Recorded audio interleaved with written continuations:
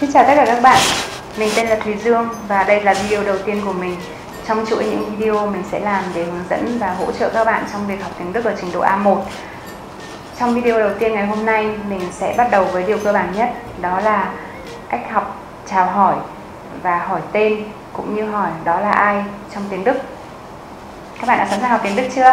Chúng ta bắt đầu nhé. Cũng giống như trong tiếng Anh trong tiếng Đức, người ta cũng phân cách chào hỏi ra theo thời gian trong ngày. Ví dụ như buổi sáng, các bạn sẽ chào là Guten Morgen. Buổi sáng ở đây có nghĩa là từ khoảng 6 giờ sáng đến 10 giờ sáng. Trong khoảng thời gian này, các bạn sẽ chào một người mà chúng ta gặp mặt là Guten Morgen. Tiếp theo, từ khoảng 9 giờ sáng cho đến 17 giờ chiều, các bạn sẽ có cách chào là Guten Tag. Guten Tag. Từ 18 giờ tối trở đi, chúng ta sẽ có cách chào chào buổi tối Guten Abend. Guten Abend. Rồi bây giờ mình sẽ nhắc lại ba cách chào theo giờ trong ngày nha. Thứ nhất, chào buổi sáng là Guten Morgen. Chào cả ngày, Guten Tag. Chào buổi tối, Guten Abend. Khi đã chào thì chúng ta tất nhiên sẽ phải có tạm biệt. Trong tiếng Đức có hai từ tạm biệt. Thứ nhất là từ Auf Wiedersehen. Auf Wiedersehen. Thứ hai là từ Tschüss. Tschüss. Ngoài ba cách chào là Guten Morgen, Guten Tag, Guten Abend thì trong những trường hợp thân thiết chúng ta có thể chào là Hello, hello. Và các bạn sẽ nghe thấy hello rất thường xuyên ở nước Đức. Và đây là một câu chào cửa miệng cũng giống như từ hi trong tiếng Anh. Dạ. Yeah. Um, và thông thường thì người ta cũng sẽ chào là tschüss nhiều hơn là auf Wiedersehen. Các bạn chú ý là Guten Morgen, Guten Tag, Guten Abend và Auf Wiedersehen. Người ta thường sử dụng trong những trường hợp trang trọng thôi. Còn trong đời sống hàng ngày thì thông thường người ta sẽ sử dụng hello và cheese rất là nhiều. Đặc biệt ở phía bắc nước đức thì người ta còn có chào là moin moin. Moin moin. Nghe rất dễ thương phải không các bạn? Hoặc là ở phía nam nước đức thì người ta sẽ chào là grüß gott grüß gott hoặc là người ta còn có thể chào là servus. Servus. Ở phía nam của nước đức. Đôi khi các bạn cũng sẽ nghe thấy ciao Chào. như vậy chính thống chúng ta sẽ có ba cách chào Guten Morgen vào buổi sáng Guten Tag là cho cả ngày Guten Abend là vào buổi tối. Hello là trong mọi trường hợp và chủ yếu là vào các trường hợp thân thiện thân thiết. Um, tạm biệt chúng ta sẽ có Auf Wiedersehen và Tschüss. Ngoài ra thì các bạn sẽ có Moin Moin ở phía Bắc nước Đức, Grüß Gott ở phía Nam nước Đức, Servus ở phía Nam và có thể chào là tạm biệt là Ciao ciao, oder Ciao. Khi học tiếng Đức thì các bạn chú ý cách phát âm. Đây là bài đầu tiên nên mình cũng sẽ hướng dẫn phát âm các bạn kỹ hơn một chút. Các bạn để ý. Ví dụ như chúng ta không nói là Guten Morgen mà chúng ta sẽ nói là Guten Morgen. Guten Morgen âm o ở đây đi kèm với chữ r cho nên các bạn sẽ hơi or chứ không phải là o bình thường. Đó, không phải là guten morgen mà là guten morgen guten morgen.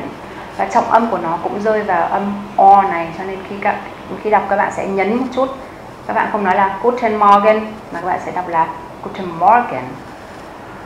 Tương tự chúng ta sẽ có guten tag. Trong chữ tag thì nó chỉ có một âm tiết cho nên chúng ta sẽ không có trọng âm. Tại vì chính chính từ đó là trọng âm. Nhưng các bạn để ý là cuối của chữ talk chúng ta có chữ g. Và chúng ta sẽ đọc âm này như là guten tag. Đối với từ guten abend thì các bạn sẽ thấy là chúng ta sẽ có chữ d ở cuối của từ abend. Cho nên khi đó các bạn sẽ bật âm nhẹ. Bật âm t nhẹ ở cuối từ abend. Mình sẽ đọc lại. Guten abend rồi bây giờ mình sẽ đọc lại cả ba từ này một lần nữa. Guten Morgen, Guten Tag, Guten Abend.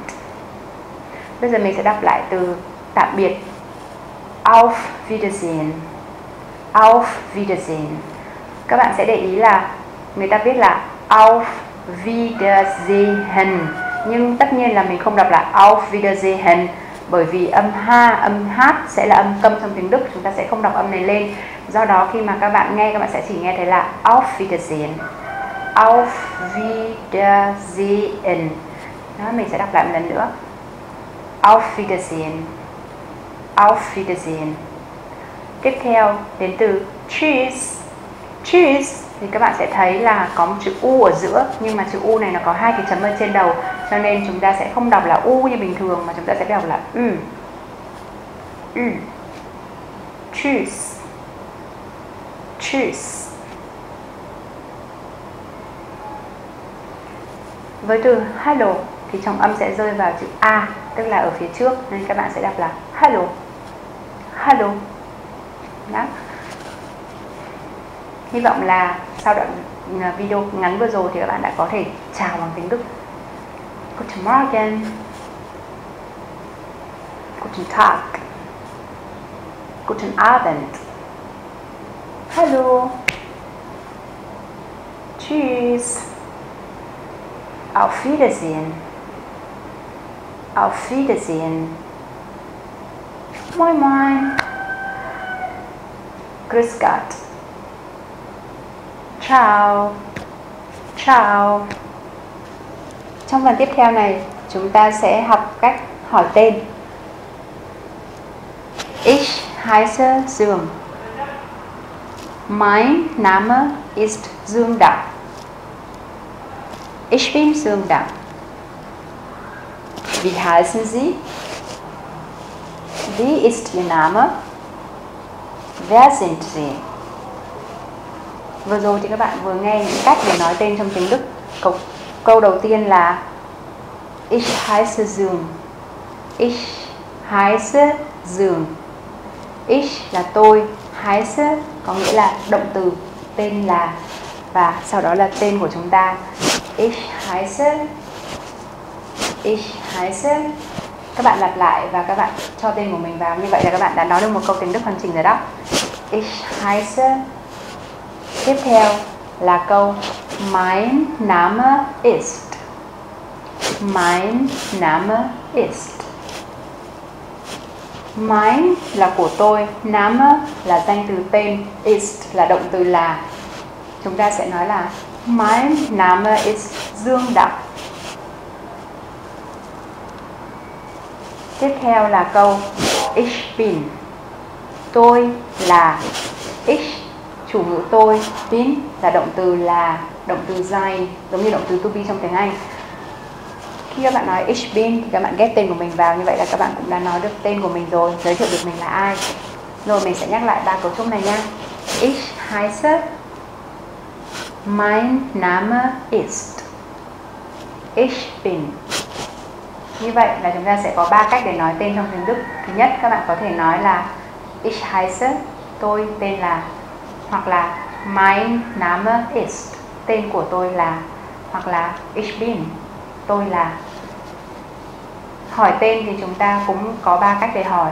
Các bạn có thể hỏi là wie heißen Sie ngài tên là gì?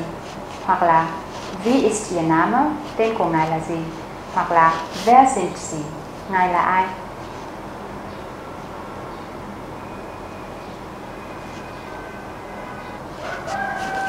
Khi các bạn không biết một ai đó và các bạn muốn hỏi người đó tên gì, các bạn có thể hỏi là, where is that where is that Đó là ai thế? Trả lời các bạn có thể nói là Das ist Đây là, Ví dụ như đây là Tom, Chúng ta sẽ nói là Das ist Tom. Đây là Laura Das ist Laura. Còn nếu như các bạn không biết người đó là ai, Các bạn sẽ trả lời như thế nào? Các bạn sẽ trả lời là Ich weiß nicht. Ich weiß nicht. Ich weiß nicht. Tôi không biết. Ich weiß nicht. Như vậy, hy vọng là sau video clip này các bạn đã có thể chào hỏi bằng tiếng Đức này, tạm biệt bằng tiếng Đức này và hỏi tên nói tên của mình bằng tiếng Đức cũng như có thể hỏi đó là ai thế hoặc trả lời là hm, tôi không biết advice me Hy vọng là các bạn thấy video này hữu ích và sẽ tiếp tục theo dõi trong tương lai tới. Mình sẽ có các video theo chủ đề. Buổi sau chúng ta sẽ học uh, các cách xưng hô trong tiếng Đức, ví dụ như ngồi ít và ngồi uh, bạn, ngồi anh ta, ngồi chúng ta, cũng như là uh, chia động từ trong tiếng Đức nha. Cheers!